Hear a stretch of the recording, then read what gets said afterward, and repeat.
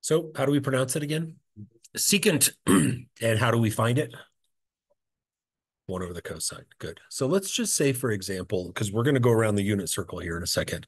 If I wanted to find, say, the secant at pi over 6 or of pi over 6. I don't know the secant, and I will tell you as a guy, I'll, I'll probably get freshened up here in the next week or two. But like, if you ask me secant of pi over six, I don't know what it is. What my brain does is what I expect your brain to do, and that is to take the cosine of pi over six and flip it. So we know that the cosine of pi over six is what? Root three over two. Remember that pi over six is on the 30 degrees. It's way over on the far right. So it's a long cosine to get there, short sine up, but that's not what we're talking about here. And so then if I do one over something, I don't know if you knew this trick or not, but the trick to divide one by a fraction is just really to flip the fraction over. So the answer is two over the square root of three.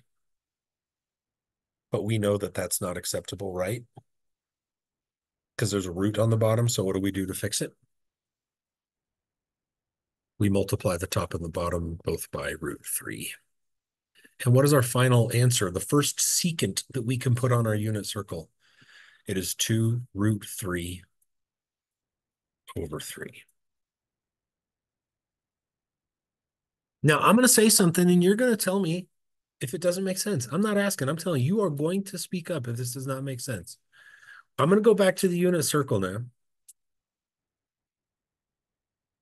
And I am going to, it, it this unit circle becomes quite a cluttered mess. And so you eventually you're going to probably want to remake it um, once you figure out how like how much stuff is actually on it.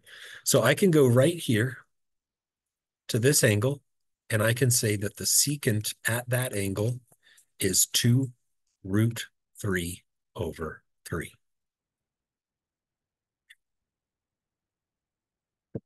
So this is the part I was worried about, and you're going to tell me if you don't like this.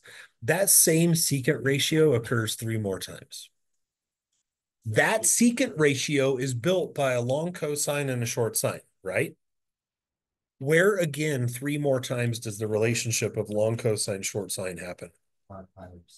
There's another one over here at 5 pi over 6. So if I go over here to pi over 6, that's a match. And yes, Layla, if I go down here to 7 pi over 6, that's another match. And what's the last one? At 11 pi over 6. Look at all of those spots on the unit circle are identical in ratio and proportion, right? So if I had to go through and do 1 over cosine, that's something I shouldn't have to do every time. I already know it's 2 root 3 over 3. Hmm? What's going to change when I head over to the 5 pi over 6? It's going to be a negative because it's 1 divided by a negative cosine. In a positive divided by a negative is a negative. So my secant over here at 5 pi over 6 is negative 2 root 3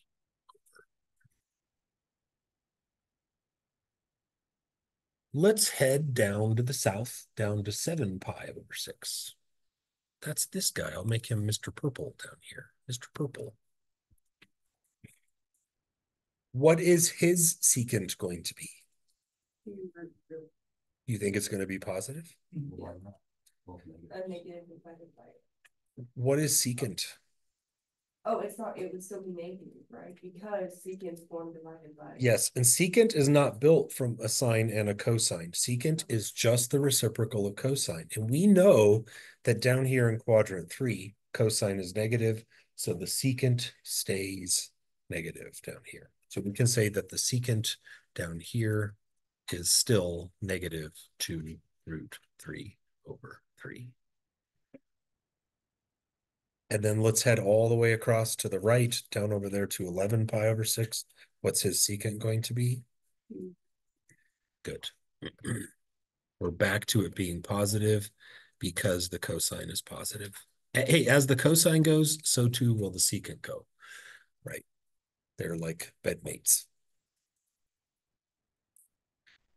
Let's take a look at like a mid quadrantal angle. So let me go back over to my other page and let's calculate. And again, we should only have to do this one time. Let's calculate one time by hand the secant at pi over 4. How do you find a secant? One, mm -hmm. one over the cosine. In other words, you just flip the cosine. So what is the cosine at pi over 4?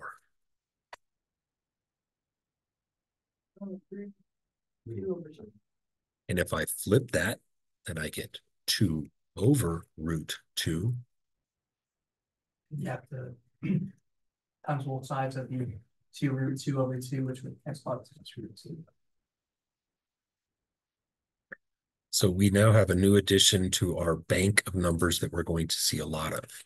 Root two. So I can head back over to my unit circle now. And in my first mid quadrantal angle at 45 degrees pi over four, I can now say that I know a secant. I can now say that right here, the secant is root two.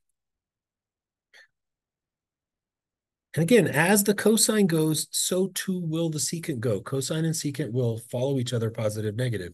So let's head across to the next mid quadrantal angle over here, three pi over four. What's his secant? Yes.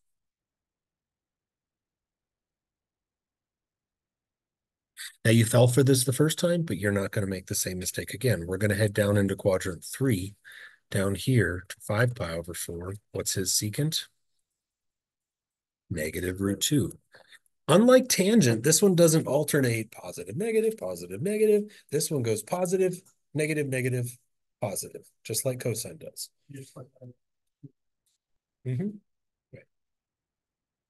And then finally, let's get down here to the lower right hand to seven pi over four.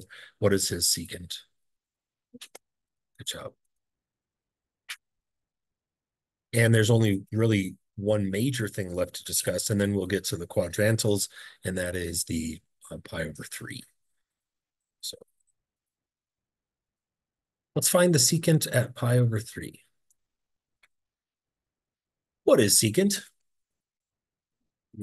It's one over the cosine. so it's one over one half. Because remember, you got a shorty cosine at pi over three. And what's one over one half? Two over one. Which is just two. That's nice. So th- there's a sweet spot for us. So if we go to that uppy high angle, the the ones um, kind of closer to the y-axis there, then we have a nice secant of two. That's lovely. So let's head up here to the top. I'll circle him in red. His name is pi over three, and his secant value is two. Still good? Okay. Let's head across to his homie on the other side, and that's two pi over three. I'll keep him in red right here. Whoop. What's his secant? Nice. Let's head down to the lower left quadrant three. Um, and remember, we're hugging the, we're doing the tall triangles here. We're hugging that y-axis. So we're right here. What's his secant?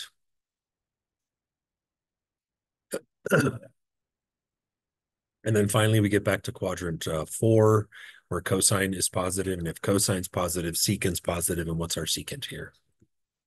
Good. So you should now have secant values on your unit circle for all 12 of the inside the quadrant angles, which of course leaves the quadrantals 0, 90, 180, 270, so on and so forth. Let's talk about those. So secant is just the reciprocal of cosine, right? That's easy enough. So let's head over here. What is the secant at zero? It's one divided by the cosine. Brady, I agree. And the cosine is one, and one divided by one is one. So we can say that the secant at the far right edge of the unit circle is one. Let's head up to the north side. Secant at pi over two. Secant is one divided by the cosine. What's the cosine at the North Pole? Zero. What's one divided by zero? Fine. Undefined. So we can say that the secant at the North Pole is undefined. Which means if you're a really good math listener, you know now that that means that the graph of secant of x is going to have, does anyone remember what that A word is? The A word, those lines that the graph, asymptote. So as soon, did you say atrium? I said they. Atrium. Asym, you want me to spell it for you? Yeah. I have it as though.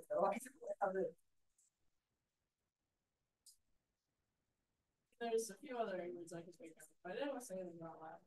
I wrote that nice and spread out as neat as I could. Asymptote. There are slant asymptotes that you'll see this year. There are vertical asymptotes and there are horizontal asymptotes. They're wondrous little creatures. Here's the graph of um we're doing secant right now, right? Here's the graph of secant of x, and you can see it also has asymptotes. So, and how convenient that I have an asymptote place, and that makes sense because the secant and tangent asymptotes are in the same place. Um, but there you see, there's those lines where the graph can't get to. So those are your vertical asymptotes. yeah. All right, let's get back to it. Uh, how, did we finish secant? We're still cooking around.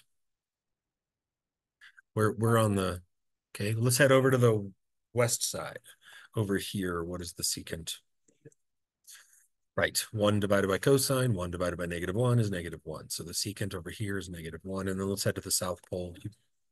Undefined. secant will be undefined down here. If your cosine value is zero, any function that is divided by cosine, it's got to be undefined because you can't divide by zero. So secant is undefined down there at the bottom.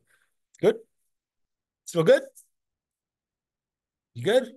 Hmm, Yep, I know it's going to be a rough, rough go here. All right, let's head to the next guy who is cosecant. Does anyone want to guess what cosecant is? It's one divided by sine.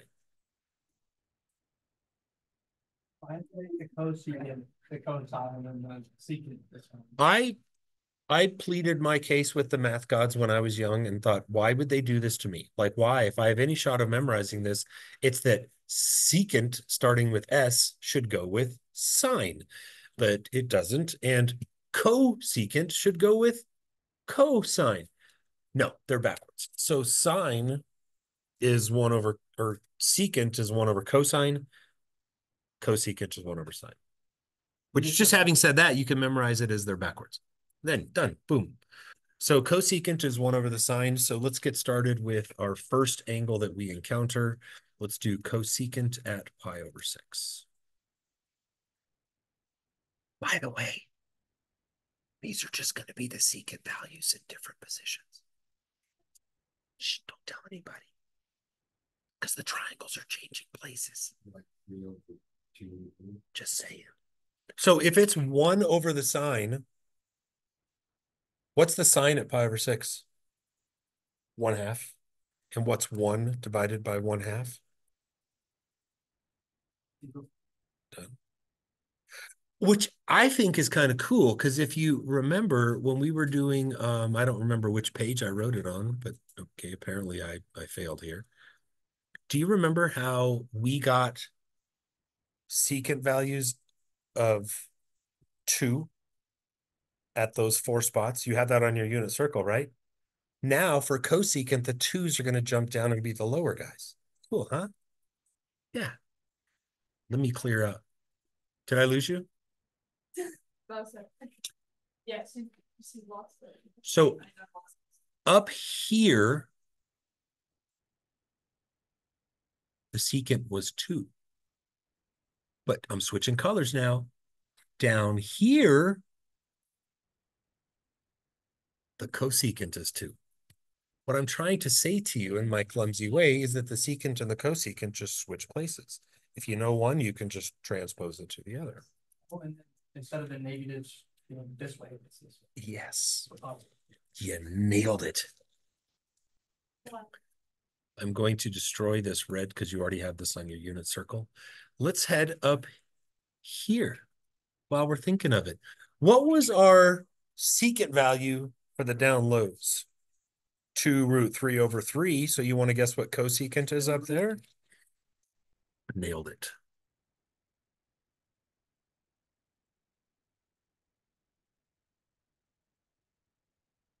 Now let's head across to quadrant number two. Now bear in mind that this one is based off of sine. And here, let me give you a little visual aid. Anywhere up here, sine is positive, right? So if the sine is positive, then the cosecant has to be positive. So Brady already nailed it. He said the the secant is divvied left, right. The cosecant is divvied up, low, high, low. Nice observation. Can I go? Can I get rid of my vandalism?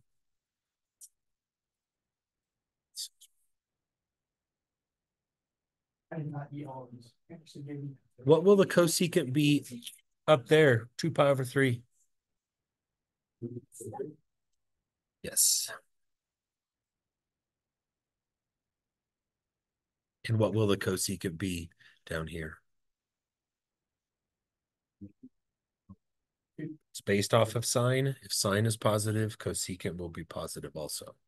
Sine is positive anywhere above the x-axis, so yeah. And now we head down to quadrants three and four. And after this, the only one we'll have to add is the cotangent. And I got good news for you. Do you want to guess what the cotangent is? It's the upside down of the tangent. Hmm, So we already have tangents. We just flip them over. Boop, boop, boop, and we'll be done. And then will you, will you print off some of these and those? Oh, yeah. Yeah, nice little, uh, Yeah. It's a, getting a little sloppy. This is draft number one. Draft number one. We're good. Let's head to right. Uh, I think we're here. Whoop. What is the cosecant at that angle right there? Say it again. Good job. Negative two. What is the cosecant at this purple angle down here? Yes. Which leaves us then with quadrant four, and I'll just keep switching colors here. How about Greeny down there? What's his cosecant? He is negative two root three over three. And then finally, I am, I'm out of usable colors. I could try yellow, but look, you probably can't see that very well. Negative. I'll try it. What's the cosecant? Negative. A little hard to see. Okay, I need, I need better colors. Uh, this is incredible stuff. I got numbers and words everywhere. I don't even know what happened to these. Have we done our mid quadrantals for the cosecant yet? No. Okay, But it's in top, bottom, undivided. No, these side, side is undivided. And then, except I'm not talking about the quadrantals. I'm talking about the mid quadrantals. Have we done? Let me just erase this whole thing here. Have we done cosecant for that angle? no. Okay, so again, what is cosecant? One over the cosine. Um, the cosecant is one over the sine. Which in this case is one over, yes, I know, I agree, except the signs change. So the cosecant is one over the sine, the sine there is root two over two, when we flip that over, we get two over root two, two root two over two, which is just root two. So the cosecant is root two. Again, Brady is really on top of this whole sign. Brady is embracing the signs. Uh, remember that cosecant is based off of sine, and as we travel in quadrants one and two, our sign, just put that anywhere. Our sine is positive, right? So our cosecant will also stay positive. So let's head over here to purple. What's his cosecant?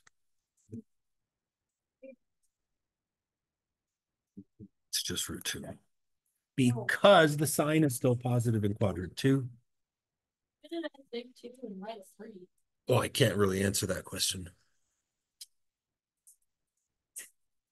But sometimes that's what you gotta do. That's what happens sometimes, right? Let's head down here. What's the cosecant? Negative root two. I don't even- And then over here, what's the cosecant? Negative. There's a negative there. It just got blended in. Which leaves us with quadrantal angles 0, 90, 180, 270, 60. So let's let's hit those. Right here. What is his cosecant? Cosecant is one divided by sine. Sine at that point is zero. Therefore, cosecant at zero is undefined. You're like, wait, did the undefineds change places? Yep. They shifted by 90 degrees. Let's head up to the North Pole. Up here. What is the cosecant up here? One. Because it's one divided by the sine, one divided by one is one. What is the cosecant over here? Good. Undefined. And then finally, let's head to the South Pole down here. What is the cosecant? Negative one. This has been quite a journey. There have been five trig functions discussed so far, sine, cosine, tangent, and then today, secant, cosecant, that makes five. And we have filled in sixteen angles for each. Five times sixty is eighty. I imagine your unit circle is a flippin' mess. And there are going to be sixteen more that we're going to add right now for a grand total of ninety-six answers on your unit circle. This will be it for today. We're done. And then tomorrow I start quizzing you on cosecant of pi over six, secant of two pi over three, stuff like that. Is what? No. No, you should already kind of have those probably filled in, but you could fill that in maybe after we're done with cotangent. Positive and negatives are, let's talk, well, let's finish cotangent first. like this. Okay. What did you say? Because it's awesome. I, we've already had this conversation, you and I. Yeah, this goes. I'll get rid of it. What's cotangent? It is. No, it's one over tangent. You can also think of it as cosine over sine. Do you remember how tangent was sine over cosine? Cotangent's just the inverse of that. So, right. But an easier way to think about it is just take all your tangents and flip them over. That's how tangent and cotangent roll. They're just flippy doos, whoop, whoop, whoop, back and forth. So let's start with cotangent of pi over six. Wait, wait, wait. You bet.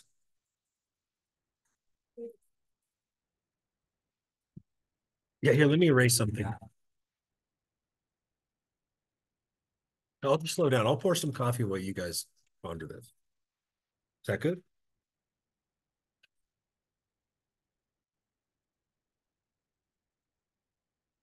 How are we gonna find our cotangents?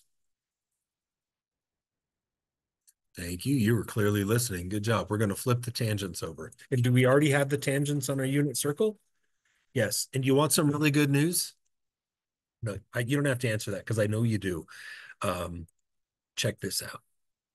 Do you remember on Thursday how we learned that up here at the tall angles, we had a nice tangent? Stay with me, Blair. Do you remember what how we had a nice tangent up top, up, up high and down low? Do you guys remember what the tangent is up here? Yes, that's the nice one, right? And then do you remember the tangent down here at the low one? You ready for this? Flip up.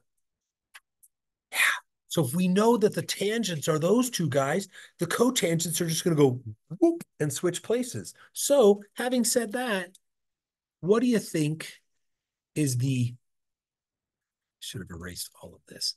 What is the cotangent up here at pi over 3? Yes. And what's the tangent down here at pi over 6? Amazing. And the signs will stay the same as they did for tangent because we're building our ratios still out of sine and cosine. It just happens to be upside down. It becomes a bit of a puzzle. So you got to remember with tangent, the good guys are high and low. And the bad guys are on the side. With cotangent, the good guys are on the side and the bad guys are high and low. I don't know if this would help anybody other than me, but here, because I'm going to draw you a pretty picture. Going to be so pretty. If I were Donald Trump, I would say it's the prettiest picture. No one's ever drawn a prettier picture. Isn't that something he would say? Right. I can't do like an impersonation. I wish I could because I would, but this, I can't. You heard it? So look at this box.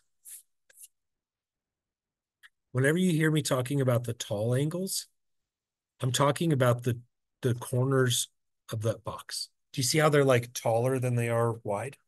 So those are certain types of angles, but then we also have this box. And these ones are the shorty angles. You see? Does that help a little bit? What the heck? Why not? Why did you, Your rectangle. that looks like a kaleidoscope. They're rectangles. Yeah. What did I say? Are you bagging on my drawing? It's fine. You do what you need to do. If that, if you want to bring me down to make yourself feel bigger, that's fine. Oh, I was just trying to make a point. Well, thank you. Oh, wide. You'll come to, that'll be the only saving grace you have. Once I take your safety net away, your unit circle and paper away, your only safety net is going to be that you've got the tall angles and memorize your tangent and cotangent there. And then your long side angles, memorize your tangent and cotangent there. And really all you gotta do is memorize one. Because then the other ones just switch, switch. Let's finish this off. Let's head over here. Whoop. What angle is that? That is two pi over three. And what is the cotangent of that angle? It is negative root three over three. Top notch. It, it's negative because we're in quadrant two. And it's the one that used to be down low, but it's up high because we flipped. And let's head down here to this guy. What's his cotangent? Negative root three.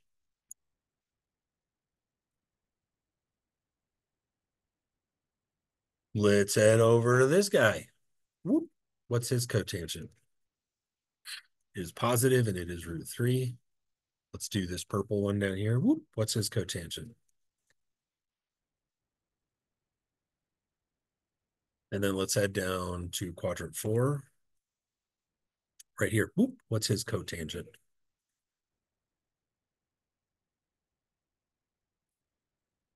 And then finally cotangent right here.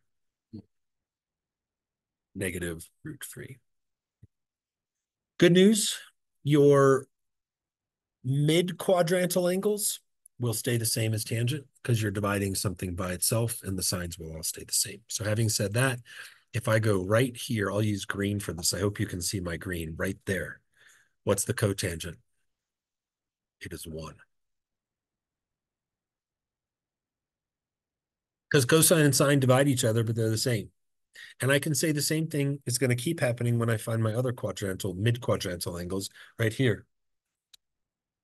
3 pi over 4, except it goes negative because cosine's negative and sine's positive, and you divide a negative by a positive, you get a negative.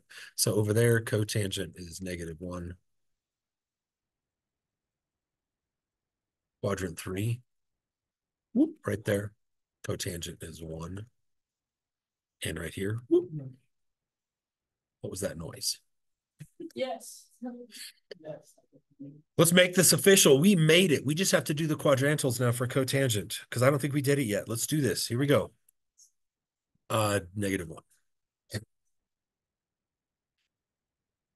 I'm erasing a lot. Well, look at this trick. Oop. Um, right here.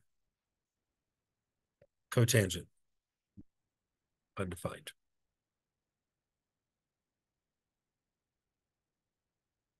All cosine, one divided by zero. Let's head up to the North Pole. What is cotangent up here? Right, it's cosine divided by sine, which is zero divided by one, which is zero. So the cotangent up there is zero.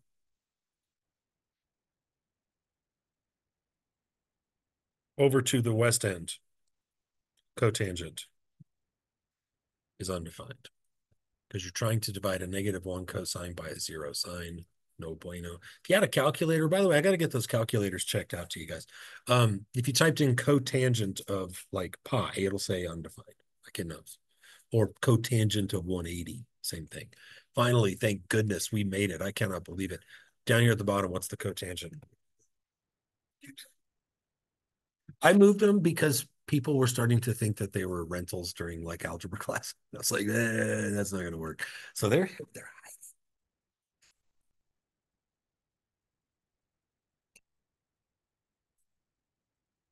Are you good? Is your brain mush? Always remember. Zoom chart, I was- You are not supposed to memorize all of it. You're supposed to memorize certain aspects of it. Like right now, ready? Watch this. Sine of pi over three. That's root three over two. And like that has to be quick. Your brain has to immediately draw a picture of, of pi over three and say tall triangle, root three over two, quadrant one. If you can memorize that, so like when I give you a quiz, like a like a timed no notes quiz, not if when, if I ask you for sine of pi over six, that is immediate. But if I ask you for like cosecant of pi over six, that takes more time. The ones you have to memorize are the sines and cosines. Sorry. But then you can build all the others off of that. So like on a quiz, you get some of them really, really fast, and some of them you're like, oh, I gotta, you know, flip. So don't try to memorize all 96, you'll go crazy. Unless you're like Rain Man or something. Are you ready? Aiden, ready? Cosine of two pi over three.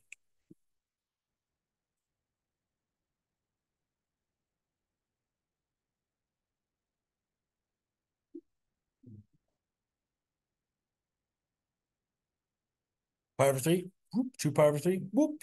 That is a short cosine in the negative direction.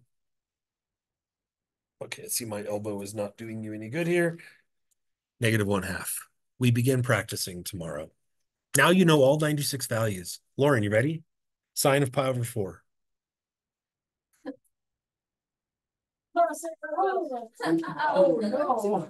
Just, uh, You like. We need Gunner goes She back to did, the she office. Cheated. Have a good rest of the day. I got to get to editing my video.